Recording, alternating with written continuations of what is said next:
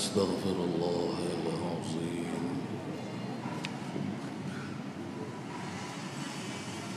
الذي لا إله إلا هو الحي القيوم وأتوب إليه. أعوذ بالله من الشيطان الرجيم. بسم الله سبحان الله. والحمد لله ولا إله إلا الله والله أكبر. ولا حول ولا قوة إلا بالله العلي العظيم. العزيز العليم عدد كل حرف. كتب ويكتب ودهر داهرين.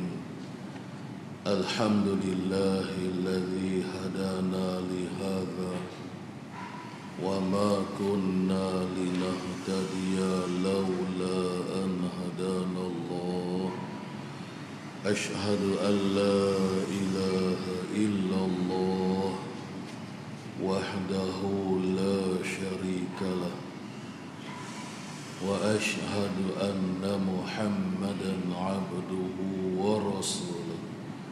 رب اشرح لي صدري ويسر لي أمري. واحلل عقدة من لساني يفقه قولي. آمين رب العالمين. قال المصنف رحمه الله تعمنا تمتي هم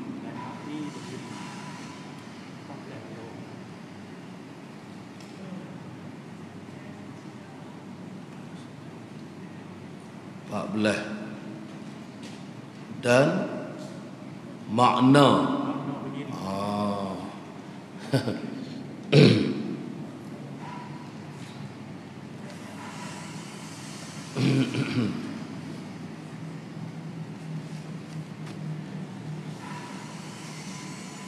قال المصنف رحمه الله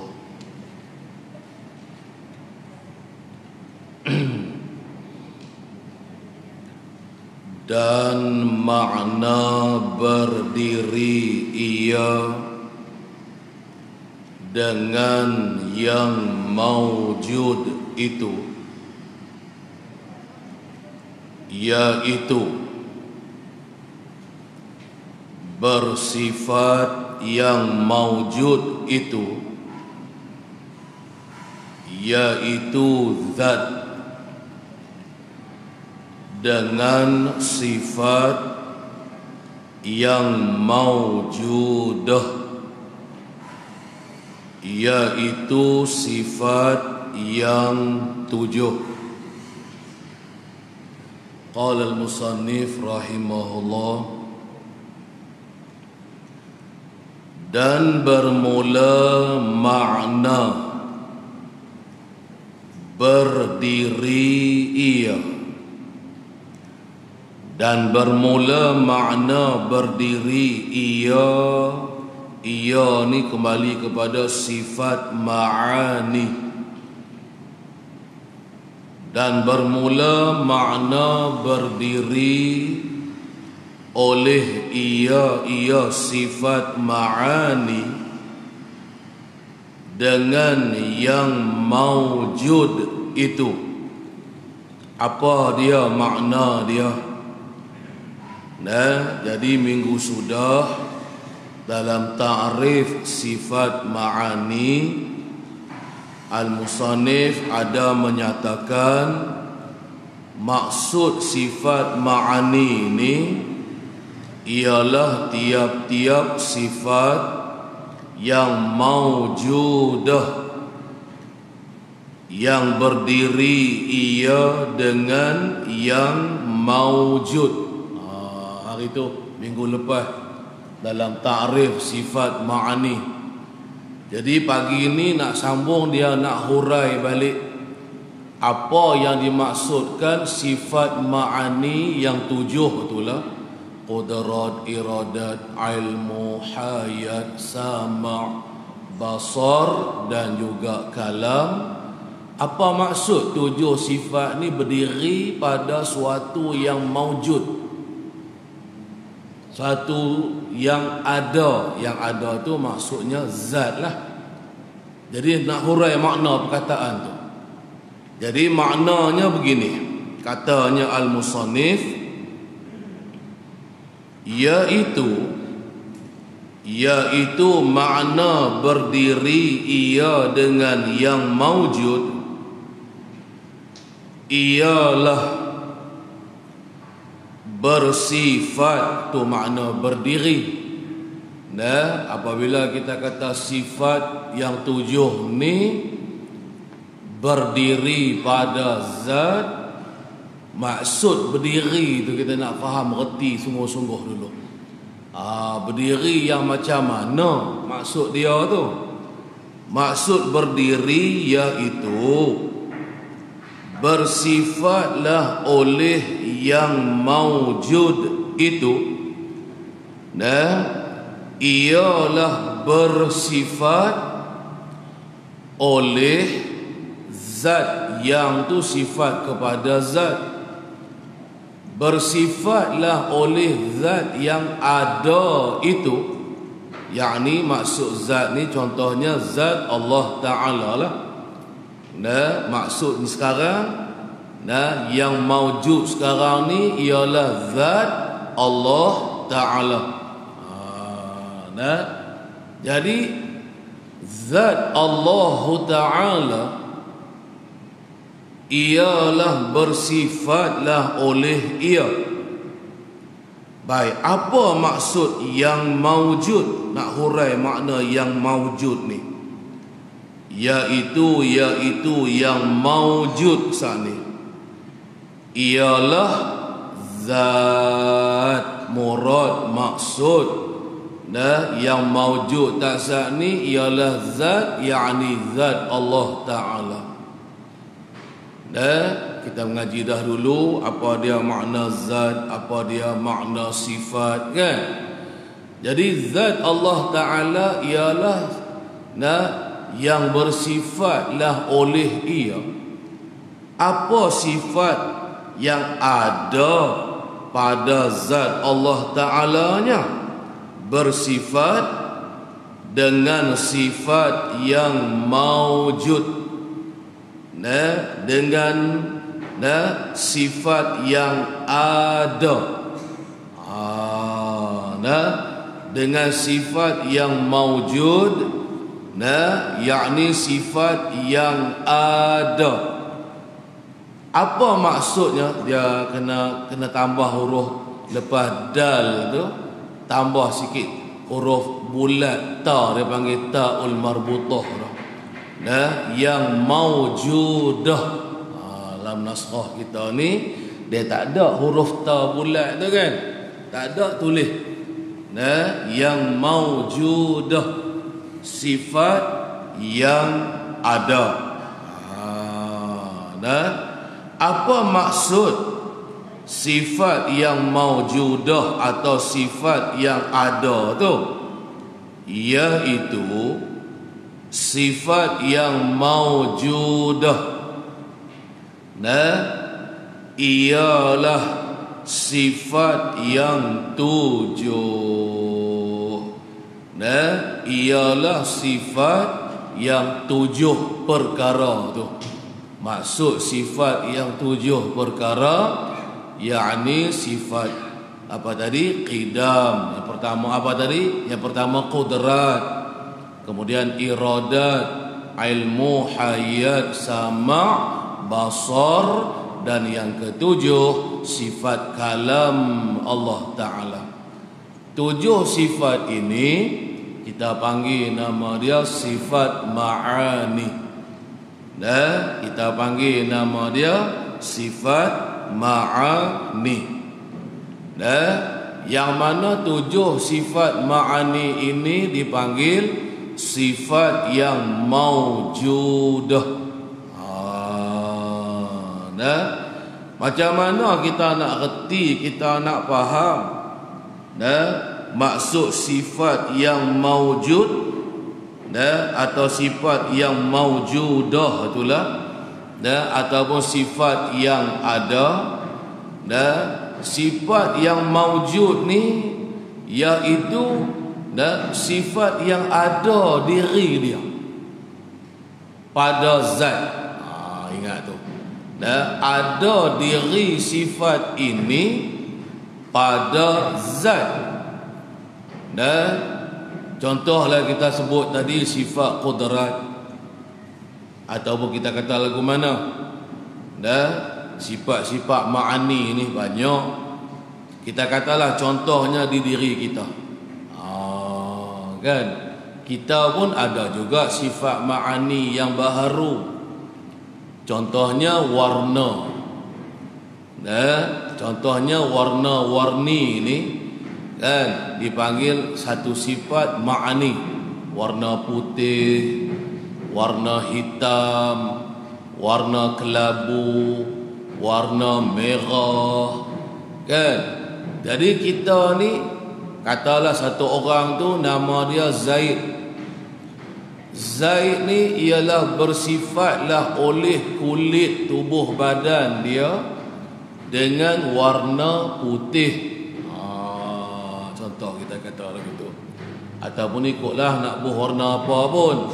Kan? Warna putih ke, warna hitam ke, warna kelabu ke, ikutlah. Baik.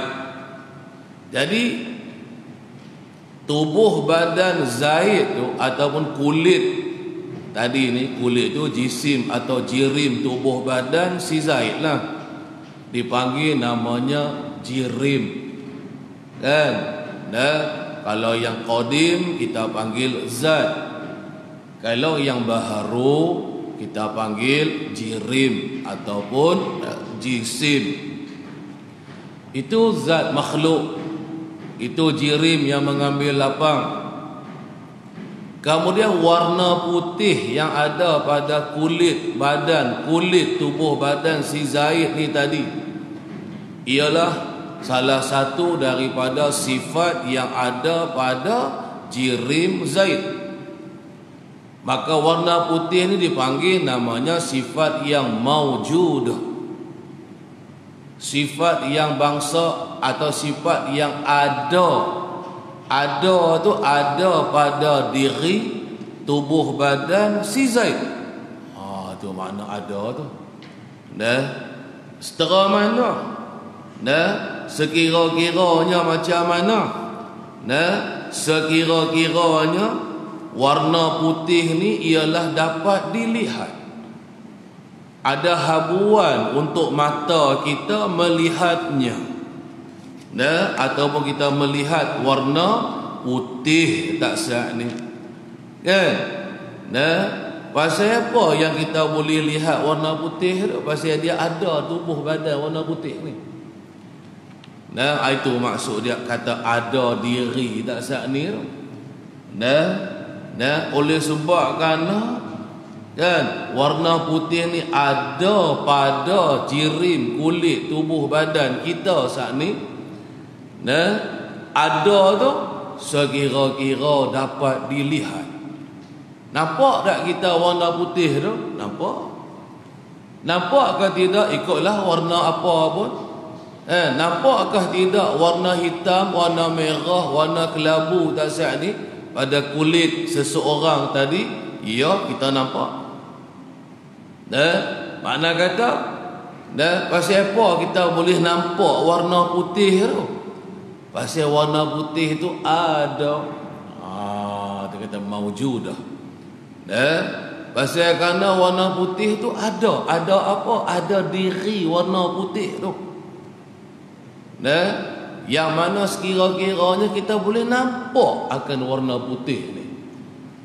Dah, itu contoh ma'ani. Lagu itulah faham kitanya. Dan apabila kita sebut tujuh sifat ma'ani bagi Allah, kudrat, iradat sampai kalam tadi. ialah sifat yang maujudah dan sebab dia macam ni sifat Allah ni hari tu kita dah hurai kita bahagikan kepada dua kan ada sifat yang ada lagi sungguh. Ah. satu lagi sifat yang kedua ialah sifat yang sungguh sahaja. Dan sifat yang sungguh ni seperti sifat wujud ada sifat salbiah sifat ma'nawiyah tiga macam jenis sifat ni tiga kumpulan sifat ini eh, dipanggil nama dia sifat yang bangsa tak ada ha, pada zat Allah tak ada pada zat Allah dan macam mana pula tiba-tiba tak ada wujud pada zat Allah ni? Ha, jangan salah faham pula tuan tu. Tak tiba-tiba tak ada pula kita berkata sifat maknawiyah pada zat Allah. Tak ada qidam baqa pada zat Allah. Bukan tak ada, tak ada langsung sama sekali. Bukan tak ada lagu tu retinya. Maksud tak ada ni, dia tak ada diri dia. Contoh kita kata ada. Kan? Ada atau wujudnya gajah. Ah, gajah lah. Kan? Gajah ni dan tubuh badan dia tu dia kan dia panggil ajirim ataupun jisim tu tubuh badan gajah ada tu sifat wujud dia Kan? Kalau tak ada sifat wujud nak main mana ada tubuh badan gajah? Takkan ada. Kan? Jadi oleh sebab kerana gajah tu dia bersifat dengan wujud, adalah dia. Adalah tubuh badan gajah, jirim atau jisim, kan? Nah, apa tadi? Tubuh badan gajah tu. Cuma gajah tu kita yang maujud, ya kita boleh tengok, kita nampak, kita faham kan ada tumatu zat yang maujudah tapi diri ada tu boleh tengok dah yang kata wujud tu sifat tadilah sifat nafsiyah tu lah boleh nampak dah ada ni ada ni kita tak boleh nampak itu mana yang tak ada diri maksud dia bukan tak ada sifat tu pada gajah tak ada sifat ada nak main mana adanya tubuh badan gajah kalau dah tak ada, tak bersifat dengan ada, maka tak ada lah gajah tu. Ni sekarang gajah tu ada. Gajah tu ada. Bermaksud dia ni bersifat dengan wujud. Bermaksud gajah ni ada sifat wujudnya. Kan? Tinggal lagi nak kan nak tengok ada tu tak nampak. Sebab nah, sebab kerana dia ni bangsa tak ada diri wujud ni hak sifat hak kita panggil hak bangsa tak ada tapi sungguh dalam hati ha, itu dah sungguh saja eh, apa makna sungguh dalam hati? Tapi hati kita mengaku. Hati kita mengaku sungguh. Sungguh eh, sifat wujud ni pada gajah kalau tak ada sifat gajah, kalau tak ada sifat wujud ni pada diri gajah, nak main mana adanya tubuh badan gajah tu? Ah, tu kata bangsa reti. Nah, sifat hak bangsa reti, hak bangsa faham. Kan? Nah, jadi itulah contoh maksud. Nah, yang bangsa tak ada. Dia tak ada pada zat dia dia bukan juga berada di luar daripada zat. Ah. Eh? Kalau kata eh, dia bangsa tak ada ni bukan maksud dia tak ada langsung. Nah, orang panggil dia bangsa sungguh. Nah, orang tak panggil lah. Kan dah tak ada, tak ada pada Tuhan. Kan tak ada langsung sama sekali pada Tuhan, bukan. Jangan pergi salah faham macam tu. Walaupun dia tak ada diri, nah, tapi orang tak kata nah, tak ada pada Tuhan. apa kami tak ada langsung sifat wujud ke ma'ani ke salbiah tadi ke pada Allah pada zat Allah Taala. Dan dia tak nampak seperti kita kata sifat kudrat tadi. Kudrat tu ada diri. Cuma tinggallah ni kita tak boleh nampak lah kan? Nantilah di akhirah esok sekiranya diizinkan Allah Taala benar izin kita melihat akan sifat kudratnya, iradatnya kita boleh tengok. Kita boleh nampak. Ya, akan sifat-sifat ma'ani ini. Kan sifat-sifat ma'ani yang kudrat, iradat sampailah kalam tadi. Berbeza dengan sifat wujud, salbiyah, nafsiyah, salbiyah, ma'nawiyah. Kan? Nah, dia tak ada diri, maka kita nak tengok tak nampak. Tapi dalam hati kita kita isbatkan ah tu makna dia. Dalam hati kita kita duk mengaku nah ada sungguh sifat wujud ni ada sungguh sifat qidam baqa ni ada sungguh kaunuhu kaunuhu yang tujuh tu di pada zat Allah. Jangan nafi pula. Nafi kufur pula kita nanti. Sebab semuanya ini ialah sifat Allah Ta'ala. Nah, Semuanya ialah sifat bagi zat Allah Ta'ala Tinggal lagi sifat ni Ada yang kita panggil Ada lagi sungguh nah, Ada setengah sifat Allah Dipanggil sifat yang sungguh dalam hati saja Tapi dia tak ada diri dia pada zat Allah Bukan juga dia duduk di luar daripada zat Allah. Yang api faham lagu tu. Ah, dah. Baik. Ah, itulah dia makna berdiri tu. Nak faham makna berdiri. Kan? Nah, hak kata Allah Taala kan? Dah berdiri pada zatnya oleh tujuh sifat ma'ani ni kan maksud berdiri ialah maknanya ada dan maknanya ada ataupun bersifat zat Allah dengan sifat yang tujuh ini. Itulah maksud dia berdiri. Kan? Pasal apa kita kata makna berdiri ialah dengan makna bersifat? Sebab kita sebab kita tak mau pisalah faham kan sebagaimana sifat yang baharu ni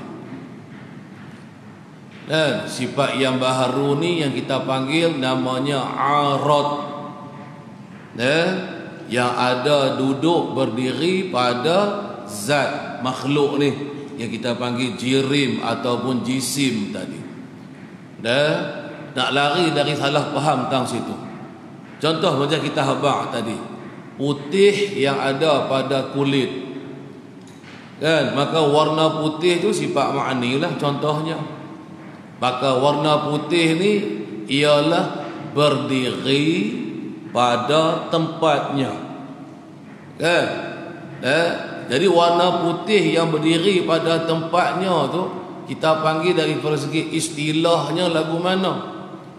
Daripada segi istilahnya kita panggil berdirilah suatu di tempatnya. Berdirinya sifat makhluk ni pada jirim ni berdiri dengan maksud berjelera sifat tu berjelera mesra sifat tersebut pada jirim kulit tadi. Dan bersuatu bersifat berjelera mesra bersebati. Itu boleh kita kata pada kita makhluk ni. Tapi pada Tuhan kita tak bolehlah kata macam tu. Eh, kita tak bolehlah kata zat sifat-sifat Allah ni berjelera pada zat Allah. Tak boleh kata macam tu. Kalau katalah kita dah pergi jadi sama pula Tuhan dengan makhluk. Sifat makhluk pun berjelera pada zat. Tiba-tiba kita pergi hukum kata sifat Allah pun berjelera juga pada zat Allah. Dah jadi serupa pula Tuhan dengan makhluk. Pasal itu digunakan dengan perkataan berdiri. Nak lari daripada kita pergi salah faham maksud. Nah sifat Tuhan tu ialah berjelera bersebati bersuatu dengan jirim atau dengan zat. Nah tu yang dia ubah pula berdiri tu pula dengan makna bersifat. Ha nah diubah pula dengan makna dengan makna berdiri itulah nah dengan makna sifat. Kan? Sifat ni ialah maqama bi nafsi bi ghairi nafsihi. Sifat ni ialah suatu benda yang ada berdiri pada suatu yang lain. Suatu yang lain tu yang kita yang kita panggil zat. Itu asal makna dia. Tinggal lagi nak faham makna berdiri tu. Ha, jangan salah faham lah kan? Kita pasang makna bersifat Allah zat Allah Ta'ala ialah bersifat ia dengan hak kudrat, iradat, ilmu sebagainya lah. Tak kira lah sifat yang bangsa ada diri ke atau sifat yang bangsa tak ada dirinya ke kan? Semuanya ialah sifat Allah Ta'ala eh? jadi maksud katanya nak faham macam mana lagi? Maksud bersifat Allah dengan sifat-sifat ini. Nah kita fahamkan macam ni. Sifat-sifat ini tak kira lah apa sifat pun. Eh, hak ada diri hak tak ada diri ke? Kan tak sungguh sahaja ada lagi sungguh ke? Nah sifat ni kita panggil suatu yang duk bersangkut paut yang duk berengkek dengan zat Lagu tu senang sikit nak faham. Dan sifat ni apabila kita, apabila kita kata zat Allah bersifat ni dan kita bahas kita buah makna macam ni lagi senang sikit nak faham. Sifat ni ialah yang duk bersangkut yang duk berengkek dan di zat. Maka bila kita kata macam tu dan maka dia jadi dia jadi umum dah. Umum macam mana?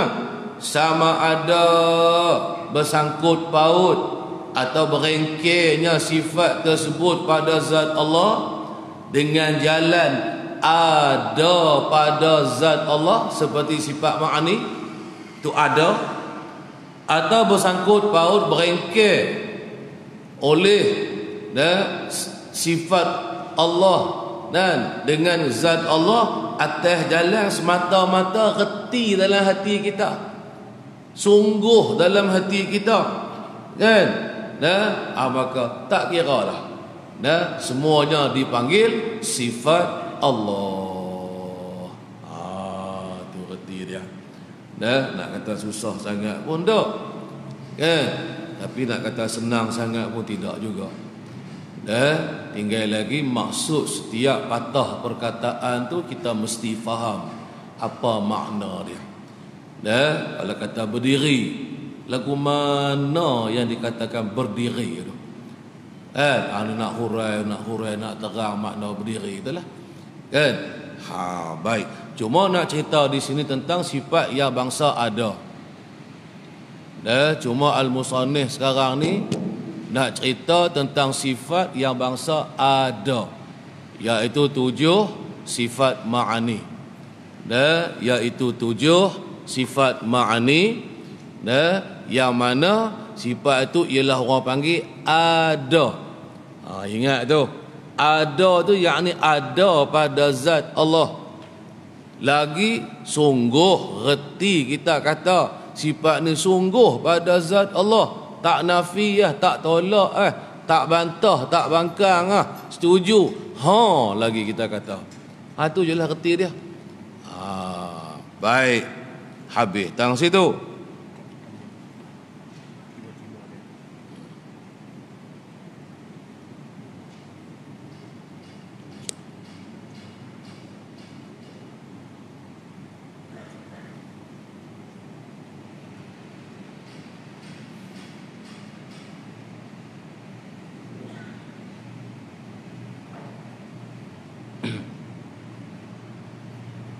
Baik seterusnya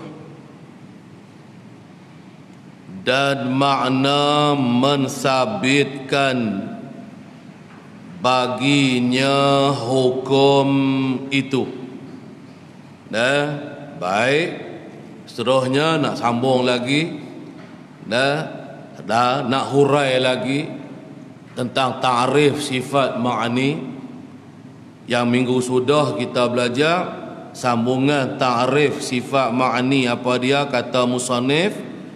Nah hak musannif kata minggu lepas uh,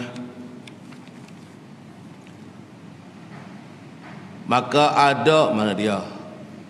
Uh, tiap-tiap sifat yang maujudah berdiri ia. Tu hak kata mensabitkan baginya hukum. Ha tu. Baik jadi apa maksud dia? Dah ha, nak hurai maksud dia ni.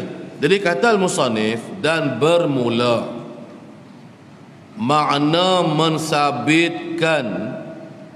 Nah mensabitkanlah baginya yakni bagi yang maujud. Akan hukum itu apa maksud dia? Nah sifat ma'ani ialah mensabitkanlah oleh ia akan hukum nah pada zat Allah taala apa maksud mensabitkan akan hukum tu pula ha nah nak cerita tentang makna eh, tentang sifat maknawiyah. Baik.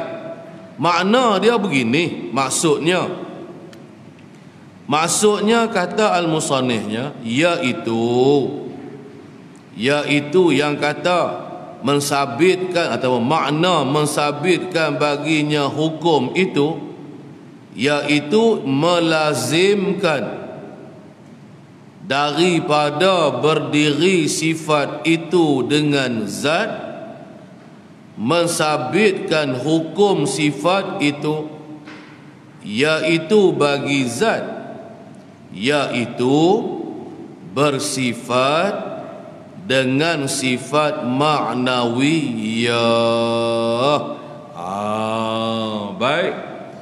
Dah jadi katanya lagi lah al-musannif nah nak beri dah penerangan lagi kepada kita kan? Supaya kita faham jelas apa yang dimaksudkan dengan sifat ma'ani.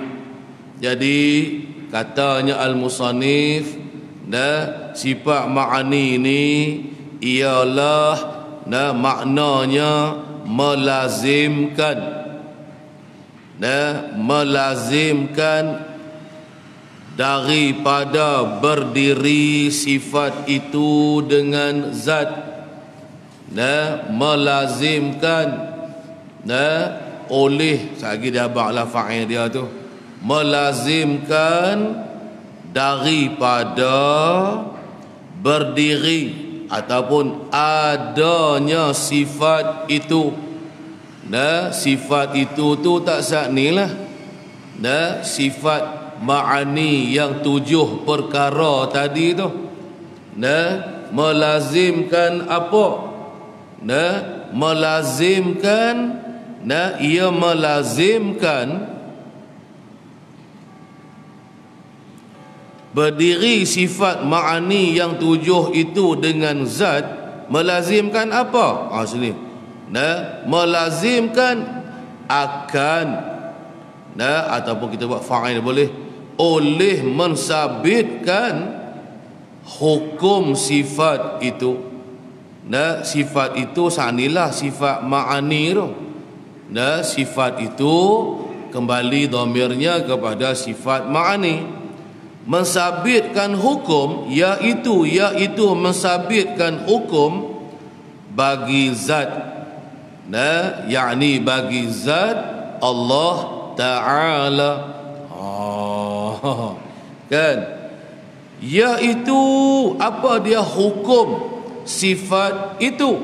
Nak cerita hukum sifat tersebut. Apa dia hukum nah bagi sifat tersebut hukuman bagi sifat ma'aninya iaitu iaitu nah iaitu hukum nah bagi tujuh sifat ma'ani tersebut ialah bersifatlah yang maujud. Dia langkah dah. Uh, ha. Iaitu bersifat yakni bersifatlah oleh zat dengan sifat ma'nawiyah nah dengan sifat ma'nawiyah baik apa dia ma'nawiyah ma'nawiyah itulah kaunuhu yang tujuh tu. Kaunuhu qadiran kaunuhu muridan kaunuhu aliman kan? Dan seterusnya lah.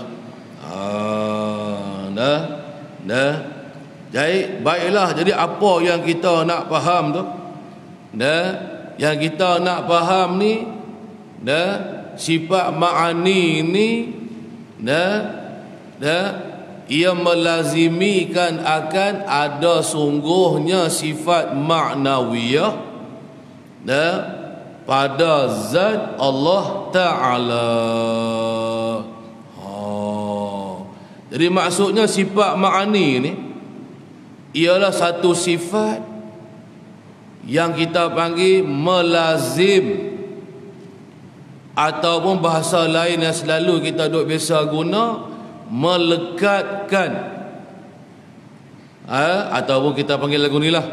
Nah, yang melekat. Nah, yang melekat pada zat Allah. Nah, jadi pelekat dia nah, pelekat dia ialah maknawiyah. Ha. dia lazim dulu. Mula-mula kita cerita dulu makna lazim. Kan? Lazim lazim ni ia daripada pihak akal kita duk fikir. Ya akal kita mentasawurkan sesuatu. Akal kita ni duk fikir duk gambarkan sesuatu. Ha nah. Lalu hasil daripada ataupun a, apa tu? Hasil daripada perkara yang kita fikir tadi. Nah contohnya sifat ma'ani. Apabila ada sifat ma'ani ada tu ada pada zat Allah Ta'ala. Kudrat, iradat, ilmu, hayat. Kan? Sama basar itulah. Dah kita panggil dah sifat ma'ani tadi ini dah. Maka akal kita duk fikir. Ah, apa yang terlazim? Dah. Apa yang maknanya apabila kita gambarkan malzum nescaya dapatlah kita terupakan nah akan lazim.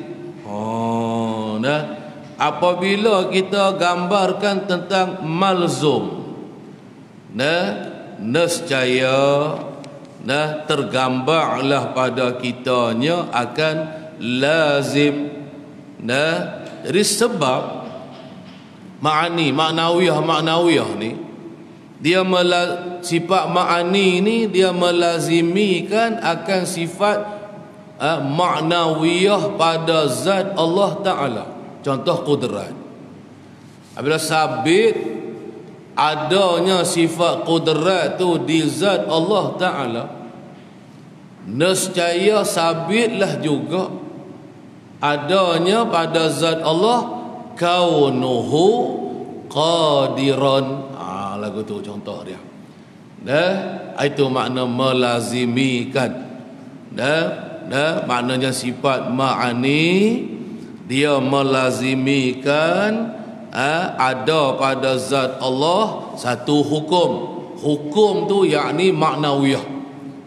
Dan apabila kita kata kita i'tiqad Allah bersifat dengan iradat pula. Lazim. Ha tu menujulah oleh hati kita. Dan nampaklah di dalam hati kita ni atas jalan lazim malzum. Atas jalan berlazim laziman.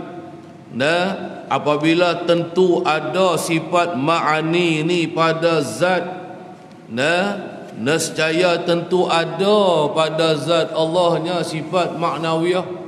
Kaunuhu tu yang kita panggil maknawiyah tu nah itulah reti dia. Nah itulah maksud dia nya baik sat lagi dia akan cerita lagi. Lepas tu katanya lagi al-musannif lagi akan datang bicaranya nya tu maknawiyah. Nah, yang mana sifat maknawiyah ni akan datanglah huraiannya insya-Allah taala. Nah nantilah kan? Nah depan ke depan nanti kita akan belajar lagi tentang apa dia maksud maknawiyah. Dan yakni sifat yang dibangsakan kepada ma'ani. Kalau maknawiyah maksudnya sifat kaunuhu yang tujuh tu yang dibangsakan kepada ma'ani. Nah yakni sifat yang bangsa melazim nah atau sifat yang tetap yang ada sungguh pada zat Allah yang melazimi daripada adanya sifat ma'ani. Nah pada zat Allah. Nah baik. Habis tang situ. Jadi kita hukumkan dengan ada sungguhnya maknawiyah ni. Kan? Sekira-kira adanya makni adalah maknawiyah. Gitulah maksud dia nya baik tapi saat lagi nanti dia akan cerita lagi. Ah dia adalah huraian panjang lebar dia lagi kan? Lagu mana kita nak faham kita nak reti kan? Melekat dengan pelekat apa semua tadi itu kan? Baik tak apalah. Dah atau kau panggil natijah kan? Natijah daripada atau kesimpulan daripada kita memikir. Kita duk fikir duk fikir kan? Natijah kesimpulan daripada ada berdirinya Allah apa bersifatnya Allah taala dengan sifat kudrat kan adalah zat Allah taala bersifat dengan kaunuhu qadiran. Ha, lagu tu lah lazim lazim tu natijah fikir. Kan? Baik tak apalah nanti dia habaq lain lagi. Kemudian kata musannih lagi syah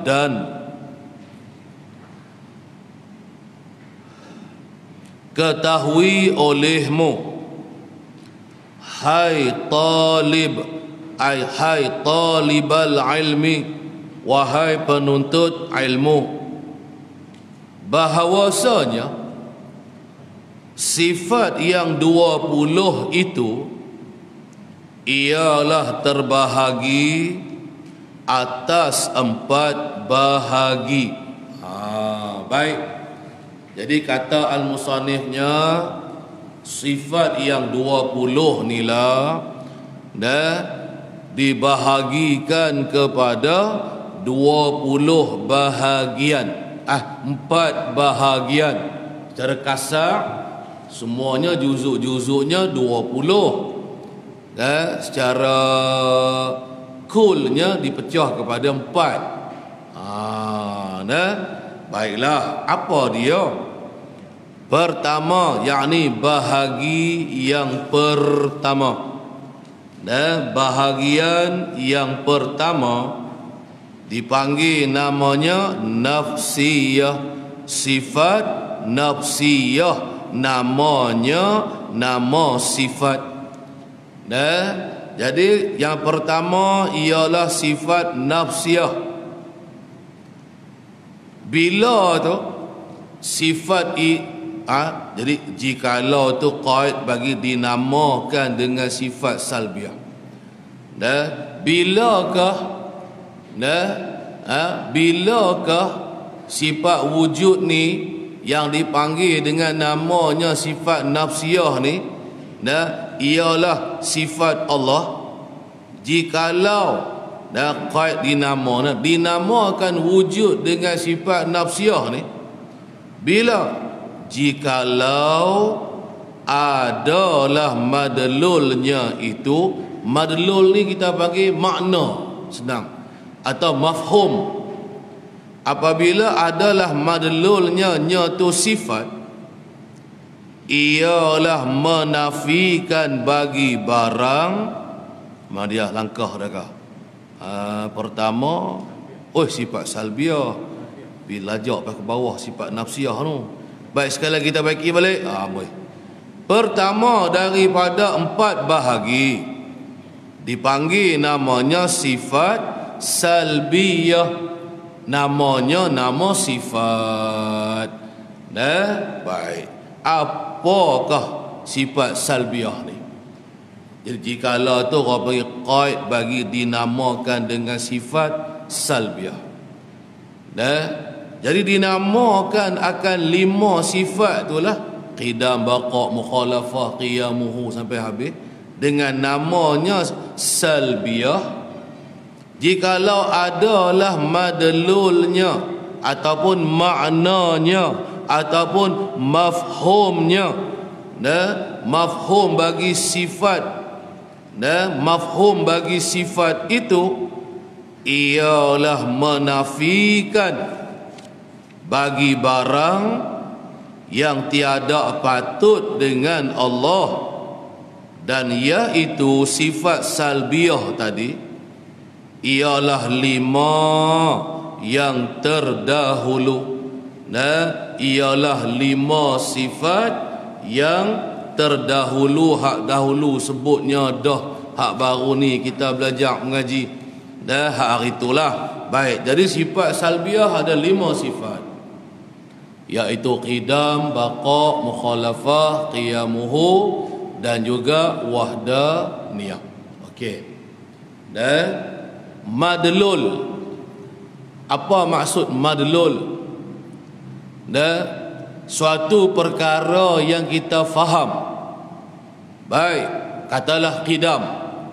Contoh yang pertama sifat qidam Allah yang salbiah lah qidam artinya sedia kan artinya sedia kala pun boleh sedia Allah Ta'ala pun boleh.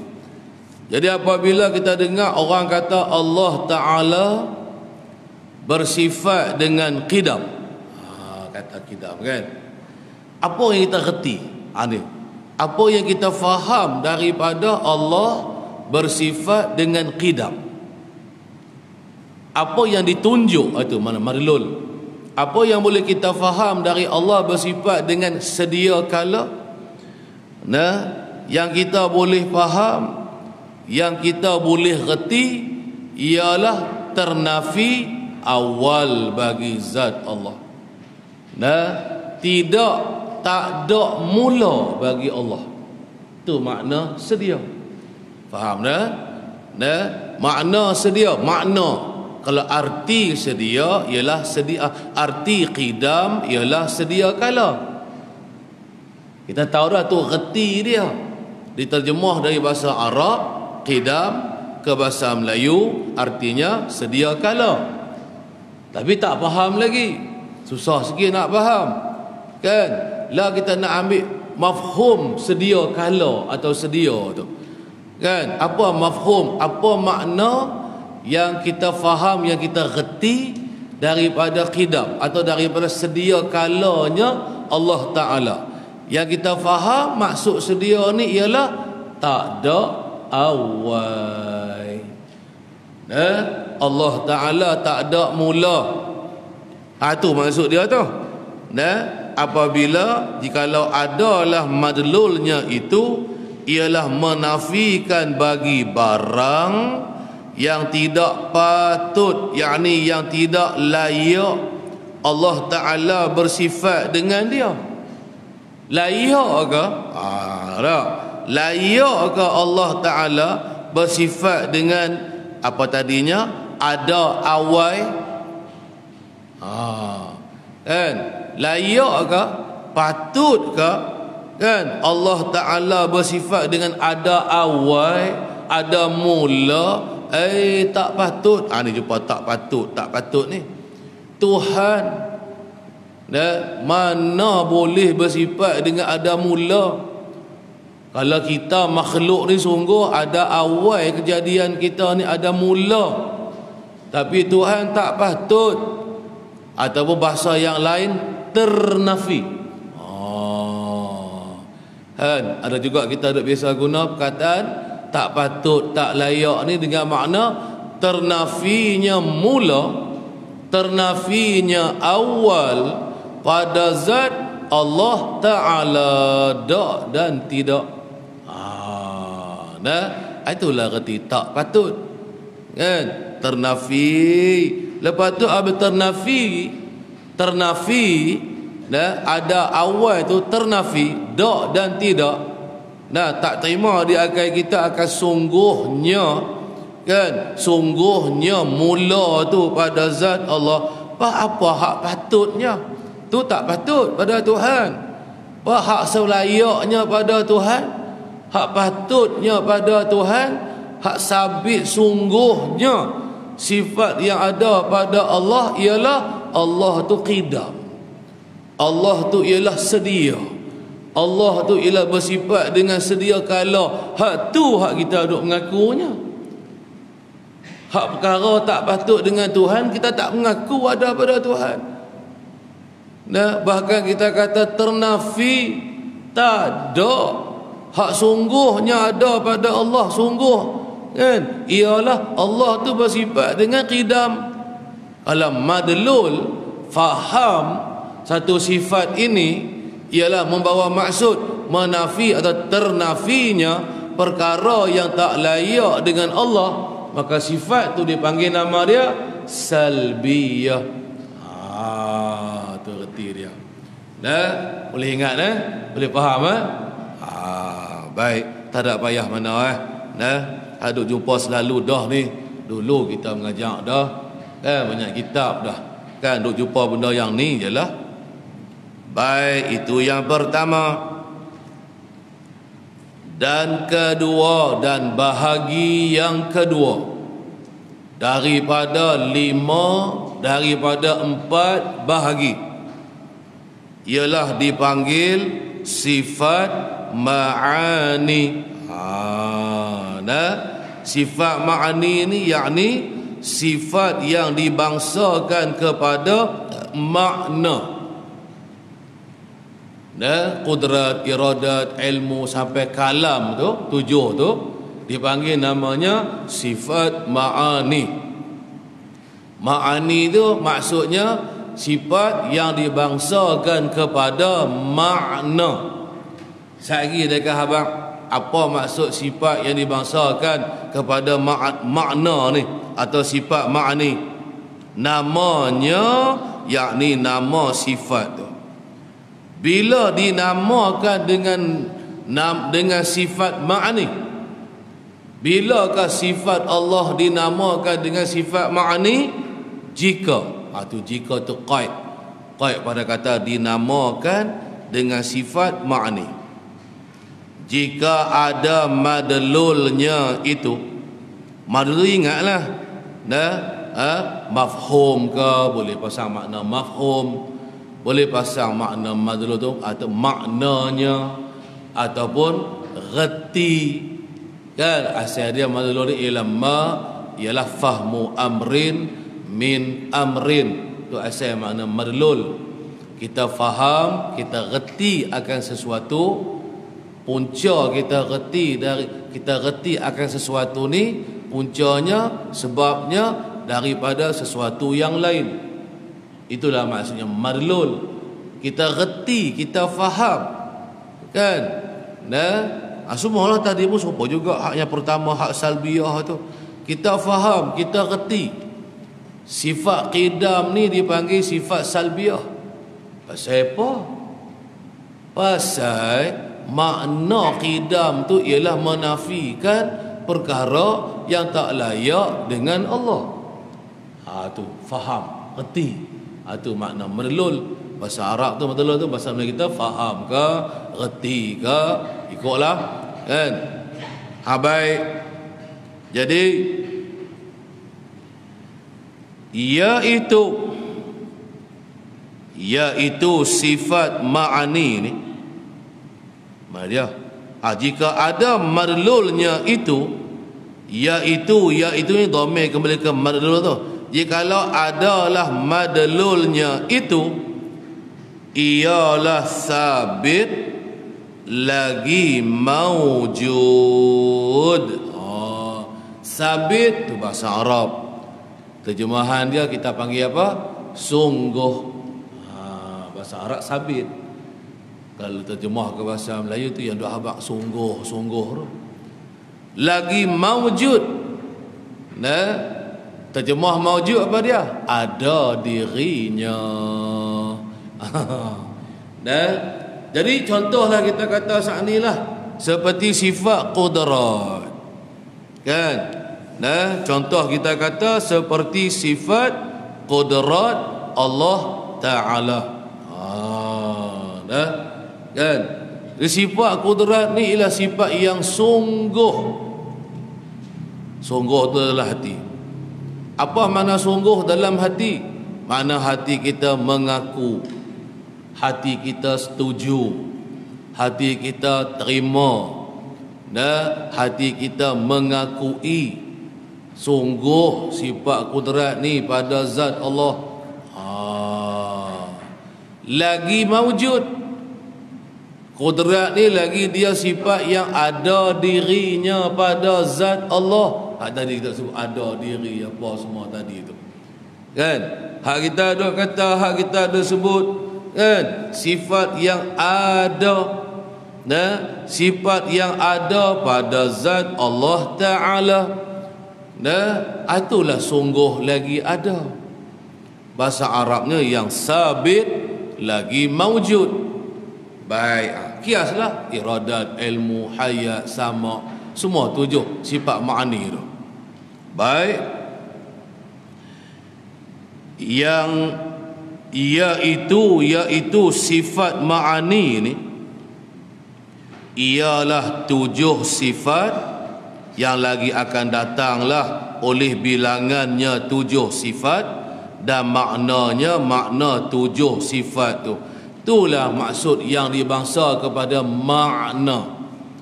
Ha nah apabila kita kata ha, tujuh sifat ma'ni ni kan? Ialah sifat yang dibangsakan kepada makna. Ha, makna ni lah ni inilah maksud dia. Apa maksud sifat dibangsa kepada makna? Iaitu sifat yang sungguh. Nah lagi ada. Ha tu reti dia tu. Dan sifat ni ialah ha setiap katalah sifat kudrat tadi kan dan sifat kudrat ni sungguh dalam hati kita kata sifat kudrat ni sungguh pada Allah. Ya. Lalu kemudian kita pun duk pik, pik, apa? Kita pun duk duk duk, duk fikir apa yang kita reti faham lagi dalam hati kita. Bahwasanya sifat kudrat ni kan? Ialah nak ada sifat kudrat ni pada zat Allah. Sekira-kira jikalau dibukakan hijab oleh Allah Taala akan kita kan? Diizinkan kita melihat akan sifat kudrat yang ada pada zatnya. Nescaya kita boleh lihat dia bukan sifat yang makdum dia sifat yang maujud. Kan tadi kan kita abang ada sifat terbahagi kepada dua. Ada sifat yang bangsa yang, dipanggil ada diri. Ada sifat yang panggil tak ada. Yang ni tak ada diri dia cuma sungguh dalam hati je. Kan? Nah macam kita habaq salbiyah tadi tak ada awal. Nak tengok ke mana tak ada awal ni? Ada boleh tengok ke? Tak ada mula tak ada awal ni? Tak boleh tengok dengan mata. Tapi kita faham ke tak? Kita reti ke tak? Kita mengaku sungguh dah bahawasanya Allah ni tak ada awal. Ha kita mengaku. Itu ha, maksud sungguh saja. Kan? Ni sungguh lagi ada. Dahlah sungguh dalam hati mengaku ada pada Tuhan Kesifat itu ada pula dirinya pada zat Allah. Oh, dan ha, itulah. Ha, itu maksud ma'ani yang dibangsakan kepada makna. Ha, susah tak susah pun lagu itulah. Tak ada susah mana eh. Dan kan benda tu senang sebenarnya mudah je. Kan duk rajin-rajin dengar duk rajin biasa dengar orang duk kata kan. Lepas tu cuba fahamkan huraian maksud kan? Nama-nama kan? Sifat tersebut nafsiyah lagu mana salbiyahnya lagu mana kan? Ma'ani lagu mana ada beza masing-masing. Nah budih eh? Tak ada susah tak mana eh? Baik kita berhentilah setakat dah pada kata musanif dan ketiga. Insyaallah kita sambung lagi minggu depan dan ketiga dipanggil nama dia sifat ma'nawiyah namanya nya tu sifat baiklah ila akhirih. Wallahu subhanahu wa ta'ala a'lam. Wallahu a'lam ay alim insyaallah kita berehat 10 minit dah